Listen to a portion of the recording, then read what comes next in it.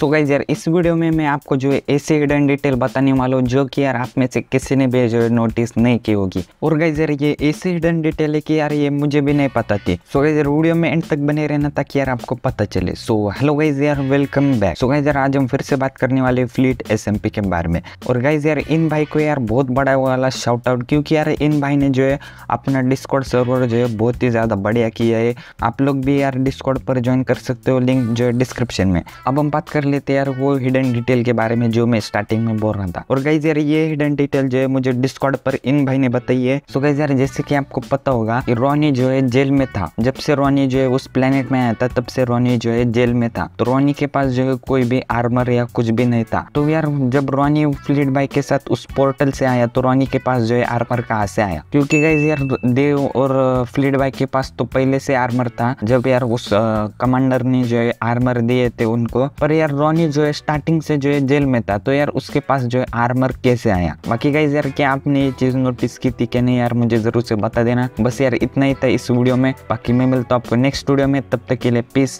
out